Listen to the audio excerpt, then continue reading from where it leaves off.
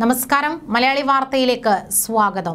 നടനും മുൻ രാജ്യസഭാംഗവുമായ സുരേഷ് ഗോപിയെ Satyajit Ray film and television institute അധ്യക്ഷനാക്കി കേന്ദ്ര സർക്കാർ ഉത്തരവിറക്കിയിരുന്നു.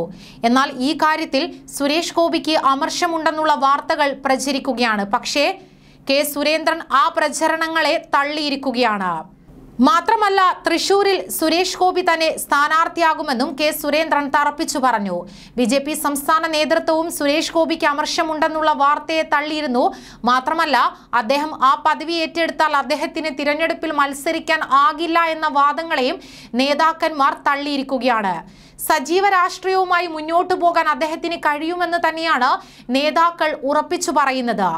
സുരേഷ് ഗോപിക്ക് ഒരു സ്ഥാനം കിട്ടിയതിൽ അദ്ദേഹത്തിന് അമർഷമുണ്ട് എന്ന തരത്തിലുള്ള വിവരങ്ങൾ രാവിലെ മുതൽ പ്രചരിക്കുന്നുണ്ടായിരുന്നു. എന്നാൽ ആ പ്രചരണങ്ങൾ എല്ലാം ബി ഒന്നാകെ തള്ളുകയാണ്.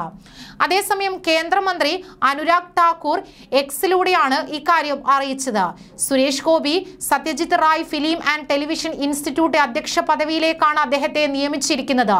മൂന്ന് വർഷത്തേക്കാണ് സുരേഷ് ഗോപിയെ ചുമതല ഏൽപ്പിച്ചിരിക്കുന്നത്. ഇൻസ്റ്റിറ്റ്യൂട്ട് ഗവേണിംഗ് കൗൺസിൽ ചെയർമാൻ ചുമതലയും സുരേഷ് ഗോപി ഇക്കാലയളവിൽ നിർവഹിക്കും. ലോക്സഭാ തിരഞ്ഞെടുപ്പിന് മാസങ്ങൾ ബാക്കിയുള്ളപ്പോൾ സുരേഷ് ഗോപിക്ക് സുപ്രധാന ചുമതല നൽകിയിരിക്കുന്നത്.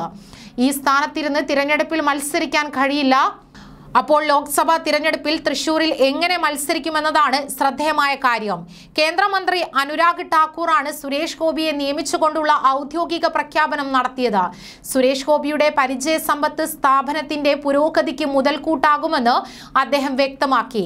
ഫലവത്തായ ഒരു ഭരണകാലം ആശംസിക്കുന്നുവെന്ന് സുരേഷ് ഗോപിയോടായി മന്ത്രി പറഞ്ഞു.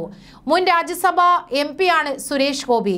എം സ്ഥാനം വിട്ട ശേഷം ബി കോർ കമ്മിറ്റിയിലേക്ക് പോലും സുരേഷ് ഗോപിയെ നിയമിച്ചിരുന്നു. എന്നാൽ തനിക്ക് മറ്റു പദവികൾ വേണ്ടെന്നായിരുന്നു സുരേഷ് ഗോപിയുടെ പ്രഖ്യാപനം. തൃശൂരിൽ മത്സരിക്കാനുള്ള സന്നദ്ധതയും അറിയിച്ചു പ്രവർത്തനങ്ങളും തുടങ്ങി.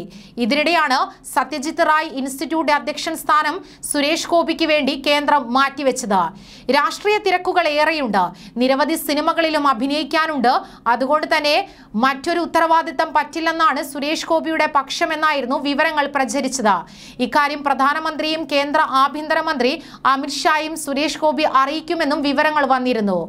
ഒക്ടോബർ രണ്ടിനാണ് കരുവന്നൂരിൽ പദയാത്രയിൽ അദ്ദേഹം പങ്കെടുക്കും. കരുവന്നൂർ ബാങ്ക് മുതൽ തൃശൂർ സഹകരണ ബാങ്ക് വരെ സുരേഷ് ഗോപി പദയാത്ര നടത്തും. ന്യൂസ് ഡെസ്ക് മലയാളി വാർത്ത.